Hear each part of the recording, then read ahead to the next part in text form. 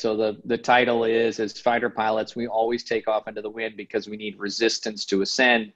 And I contend our, our lives are, are no different, and um, that we're all going to have struggles. We're going to have resistance in our lives, but um, our resilient spirit or lack thereof is going to determine, you know, our life and the trajectory in our life. And this book is, you know, a, a powerful code of living that I live by every day that really allows people to engineer a resilient spirit um, in in their lives. And I think as fighter pilots, we're probably better than most at taking in copious amounts of information and then prioritizing that information. And I think at its core, Fly into the Wind, the book, you know, allows people to pause and really evaluate their lives and prioritize, you know, what is important. And I give you the bones to do that, which is my personal code of living. Obviously, everybody's is going to be different.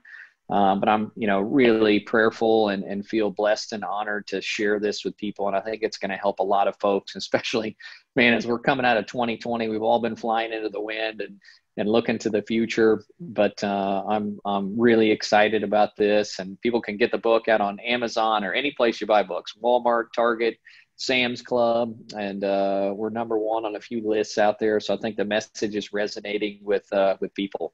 Yeah, I, I, read it last week, and it felt, you know, I think you had mentioned that it, the book was delayed a little bit and and got released, you know, later, and it almost worked out perfectly to be released later in, in a sense of we're one month out from 2021, a, a nice fresh start.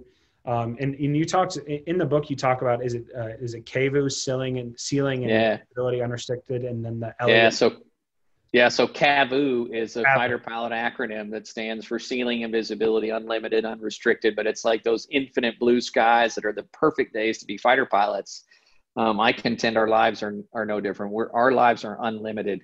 Uh, but there are a lot of key things that you have to do to unlock the potential of your life. And as I say, I outline a bunch of those in the book, things that have, have worked for me, but but also um, people that have accomplished a lot more than me and be able to condense it down in kind of a paint by numbers, if you will, code of living that that I call CAVU in the book.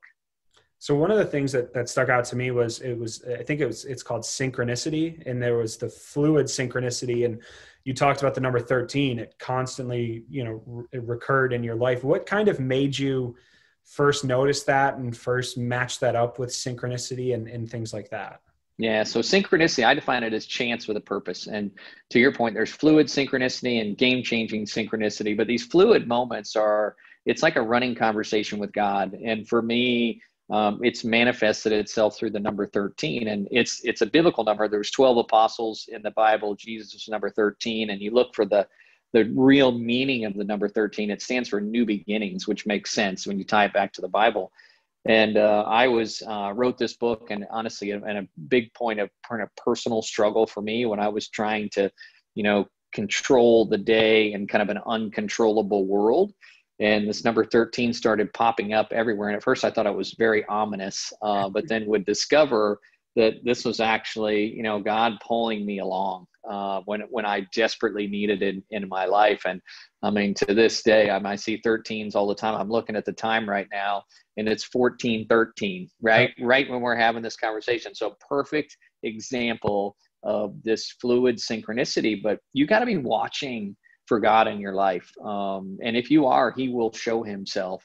Uh, and that's the I think one of the most beautiful things I'm able to share in the book is that this this conversation of of affirmation and this divine current is in your life and present every day.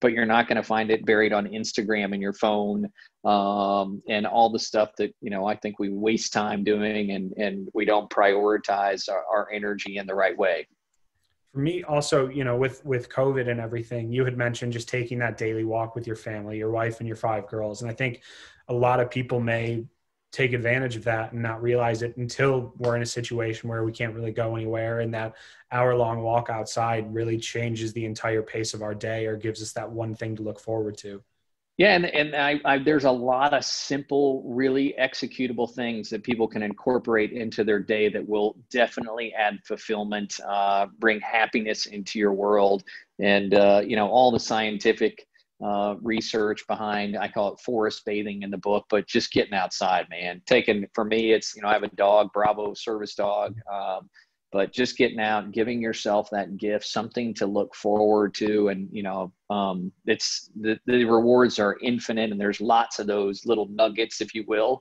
in in the book to incorporate in our lives